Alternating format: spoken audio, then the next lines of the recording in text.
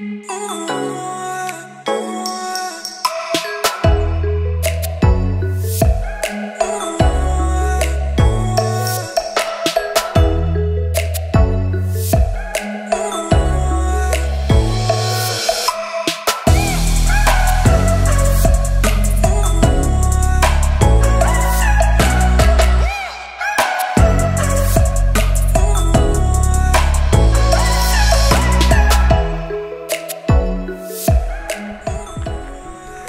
everyone, welcome to Treasure Seekers Virtual Adventures. I'll be your host today. My name is Sarah with an H, and I'll be talking to you about Southwest Florida's seashells.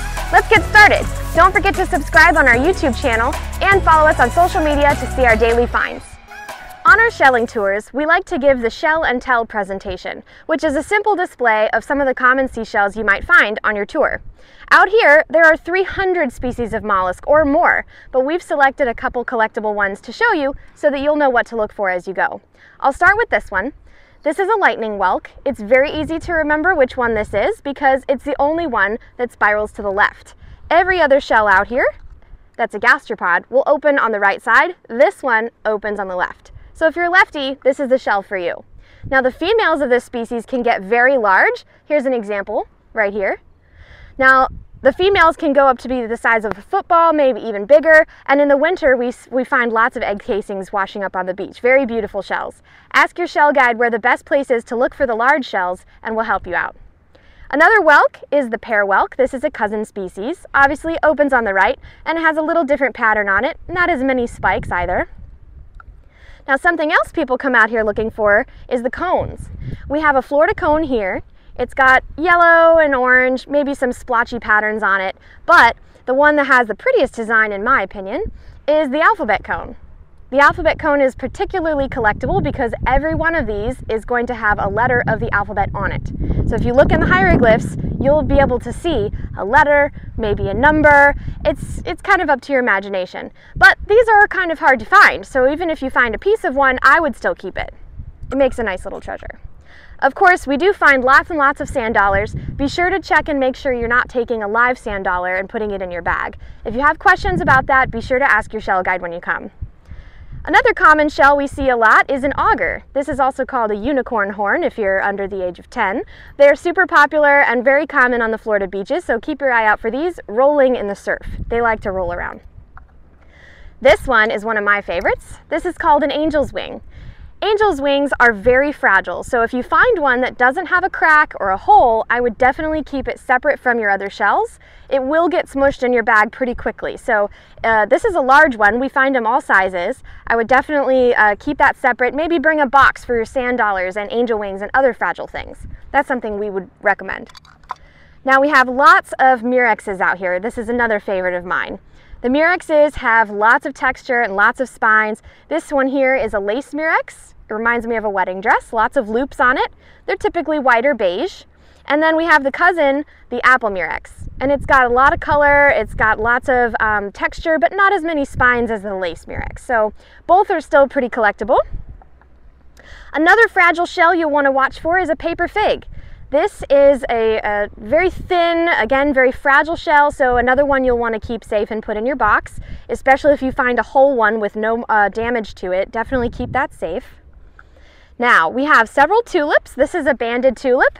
We love these. These are typically a purple or pinkish color, and they've got those really defined brown or black stripes around the belly. The other one is a true tulip.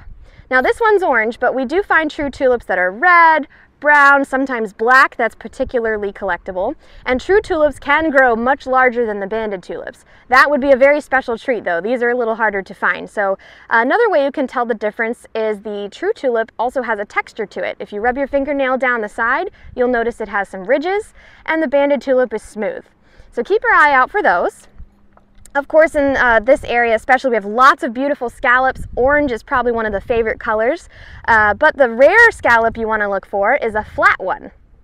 The flat scallop, also called a zigzag scallop, there's a few variations of them, are very hard to see. Once they wash up on the shore, they lay flat against the sand and then they get buried almost right away. So it's a little challenging to find them and when we do, we definitely celebrate with you because it's a special find. So keep your eye out for the little fan-shaped stamps in the sand, maybe partially buried. If you tell your brain to look for jingle shells, that might help you. Now, this one is a really cute tiny shell. This is a nutmeg. This is a really dark one, but they can have white and brown patterns on them. And they have kind of a plaid texture, like a crossbar.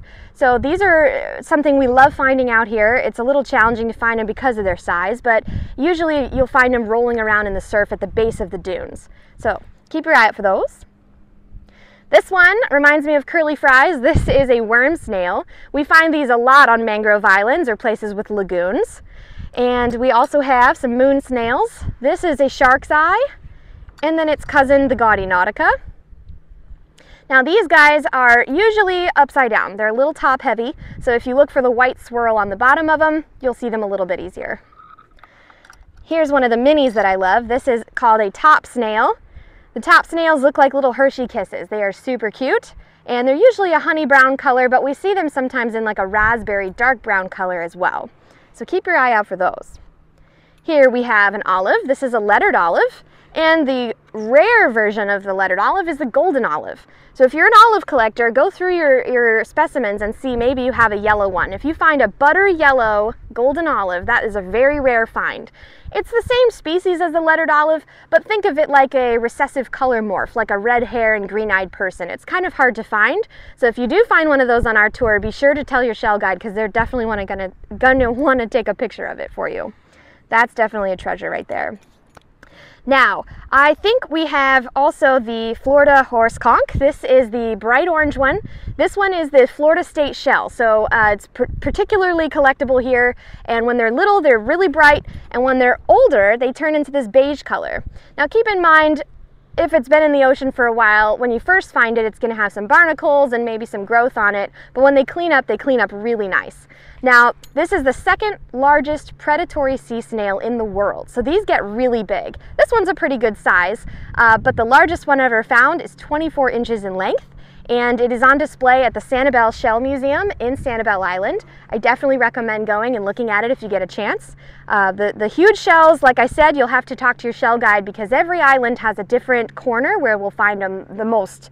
So uh, definitely ask lots of questions when you go. So do you recognize this one? This is a Junonia. The Junonia is the golden egg of all shelling. It's one of the rarest shells you can find, and what makes it rare is that it's a deep sea snail. It lives at a depth of 120 feet or deeper. So, in order to find one, you've got to comb the beaches for hours, most of the time.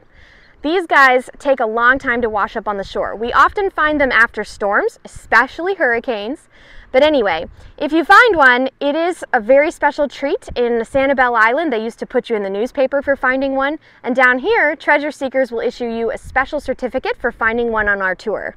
So keep your eye out for the giraffe pattern. That's what you really want to look for. Most of the time, they're going to be partially visible. Sometimes they're buried in the sand, sometimes they're rolling in the water. We've even found them up here, up high on the dunes, buried in the bushes. So keep our eye out for that spotted pattern. Most of our shells in this area are going to have a rich fall color, so oranges, browns, purples, pinks, those are the kinds of things you want to look for in addition to patterns, stripes, spots, spikes, that kind of thing. So as you go about your tour, make sure you talk to your shell guide about what to look for and take their advice because they know where the good spots are.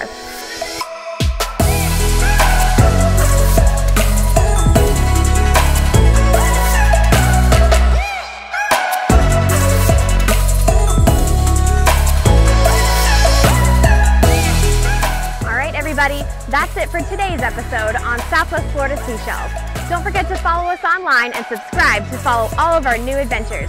Happy shelling!